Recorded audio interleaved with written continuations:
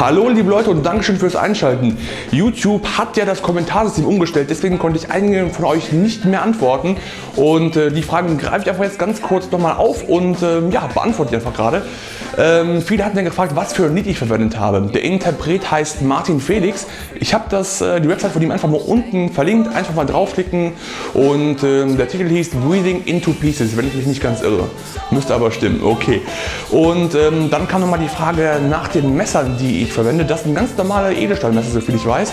Die sind einfach nur eingefärbt und die hatte ich in diesem Jahr geschenkt bekommen. Ich hatte allerdings früher auch mal ein Keramikmesser so ein rotes. In den früheren Videos war es auch mal zu sehen, aber durch den Umzug war es leider so, irgendwo in den Karton gelandet, nie mehr wiedergefunden, auf ewig verschollen, ich weiß es nicht. Auf jeden Fall, es ist verschwunden. Ich war aber auf jeden Fall auch immer super zufrieden damit. Es war super scharf. So, und ähm, ja, dann kommen wir auch mal direkt zum Rezept heute. Und zwar, wie ihr vielleicht schon gesehen habt, mache ich heute eine super leckere Bohle. Und ihr braucht nur drei Komponenten. Und zwar braucht ihr Wodka, ein bisschen Sekt, also wird viel Alkohol drin sein und Früchte. Äh, an Früchten könnt ihr aber auch nehmen, was ihr wollt. Also ihr könnt Mangos nehmen, ihr könnt Ananas nehmen, Äpfel, Trauben, ein Pfirsich kann rein.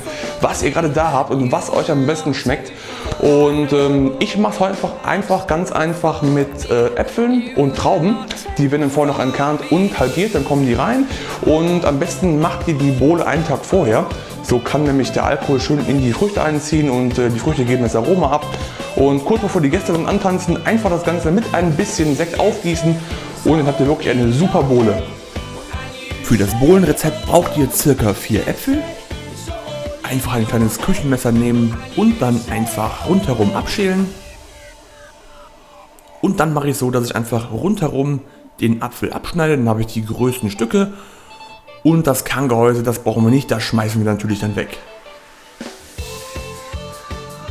Und dann schneide ich den Apfel einfach in kleine Würfel. Für die Bohle nehme ich hier eine relativ große Glasschüssel. Ihr könnt natürlich auch eigenständige Bohlenschüssel verwenden. Und dann übergieße ich das Ganze jetzt schon mit dem Wodka. Ich verwende hier 300 Milliliter für die Bohle. Einfach übergießen. Im nächsten Schritt kommen dann noch die Trauben hinzu. Die habe ich vorher abgewaschen. Dann werden die noch halbiert.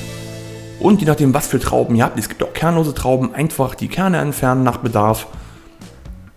Und dann ebenfalls das Ganze zu den Äpfeln geben und mit Wodka übergießen. Das Ganze kommt dann für circa 6-7 Stunden in den Kühlschrank, am besten über Nacht. Und bevor die Gäste dann da sind, einfach das Ganze noch mit ein bisschen Zucker abschmecken und dann mit den zwei Flaschen Sekt aufgießen mich in diesem Fall einmal für einen weißen Sekt entschieden und zwar einen trockenen und für einen roten. Je nachdem wie süß ihr es haben wollt, könnt ihr das Ganze noch mit etwas Zucker abschmecken und dann habt ihr wirklich nach einem Tag Einziehzeit eine super leckere frische Bohle.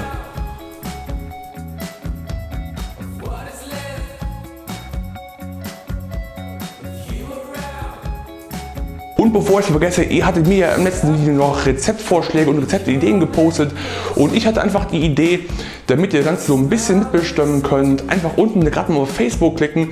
Da stelle ich einfach eure Rezepte in so einem Voting vor. Da könnt ihr einfach voten, was für ein Rezept ihr haben wollt. Und ähm, ja, das meistgevotete Rezept wird dann beziehungsweise von mir nachgekocht und zwar am nächsten Sonntag. Äh, ja, einfach draufklicken, Spaß haben, auswählen und vielleicht auch noch einen anderen Rezeptwunsch von euch posten. Entweder in die Kommentare oder auf Facebook, das ist euch überlassen. Ich werde es auf jeden Fall lesen. Und ähm, ja, wie immer freue ich mich natürlich über einen Daumen nach oben von euch. Das wäre wirklich toll. Ein Kommentar, das ist auch klasse. Und äh, ja, wie immer könnt ihr hier und da weiter Videos schauen. Ich mache es mittlerweile auch so, wenn ihr es mobil schaut, könnt ihr es dann unten nochmal nachklicken. Ähm, ich glaube, mobil sind die Sachen ja hier gar nicht anklickbar. Darum einfach unten dann anklicken, wenn ihr gerade mit dem Tablet oder mit dem Handy unterwegs seid. Und bis dahin wünsche ich viel Spaß in der Küche, guten Appetit und bis zum nächsten Mal. Tschö!